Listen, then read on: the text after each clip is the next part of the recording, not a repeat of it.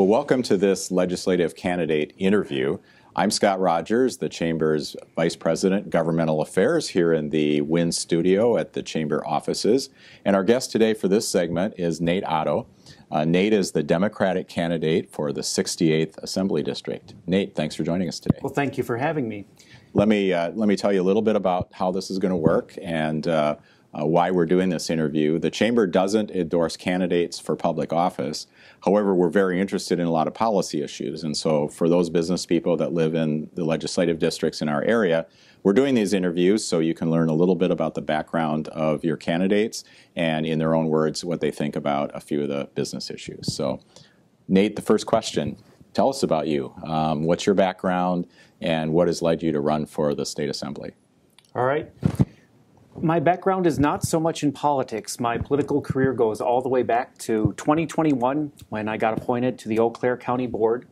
And I uh, liked being on the county board, so I ran for office and I won last, uh, last April. I won by 10 votes. There was a recount, and it was fascinating seeing that recount process. By trade, I am a software developer. I also do adjunct teaching at CVTC. And um, my family owns a couple of enterprises. My wife employs seven people in her firm, and we also are uh, landlords. So we're, we're connected with the local business community. And this is my first time running for a state level office. So, why are you're running for the legislature? I often think, what is the best thing I can be doing right now? So, I, I don't know if, if you have this, or maybe I'm weird for having this, but I sometimes have conversations with myself 10 years into the future.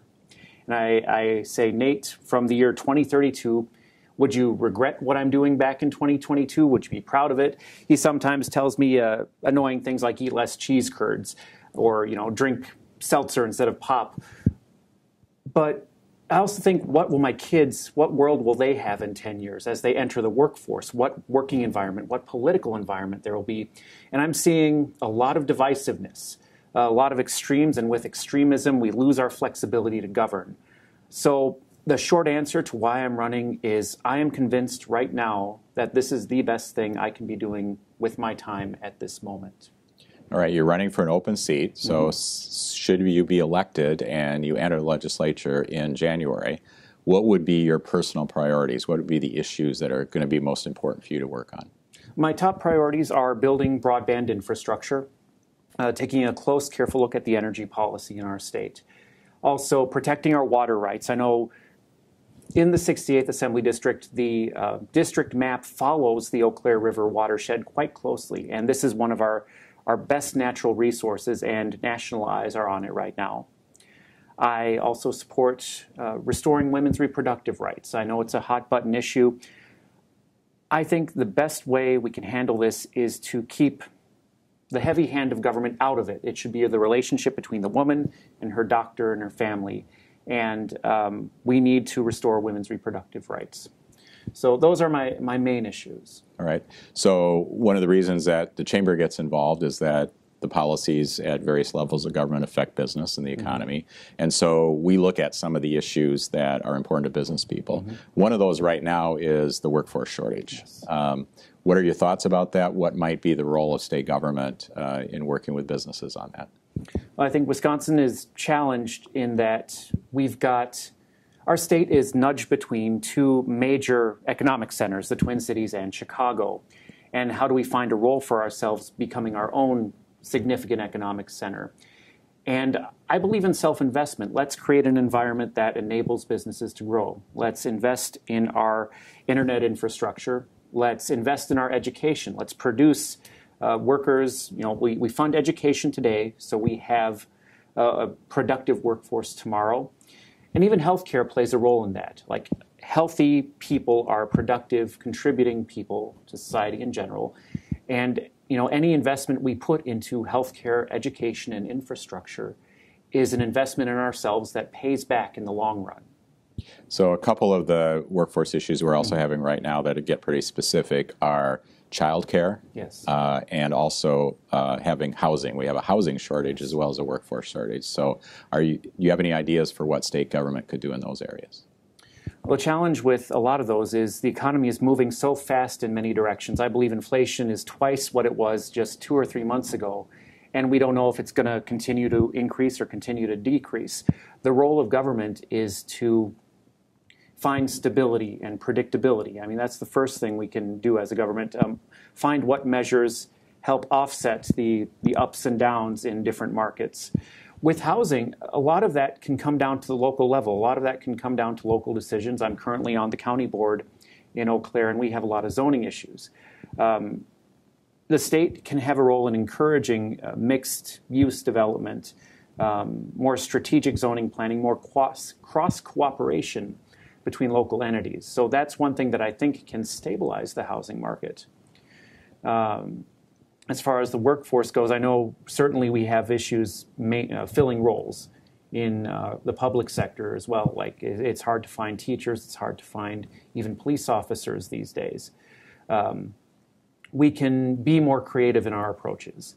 The 40 hour work week is um, the structure of 8 to 5 Monday through Friday. I think we can rethink that. I think the state legislature can come up with creative solutions that make that very specific, very 20th century outlook or habit um, less common. Like maybe more people will apply if they know their hours can be a little bit different.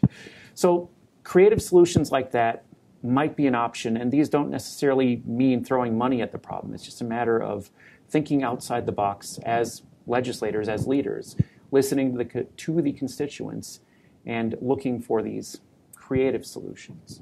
So one of the issues for our community uh, in terms of investment is the UW Eau Claire's mm-hmm. proposed science and health sciences building.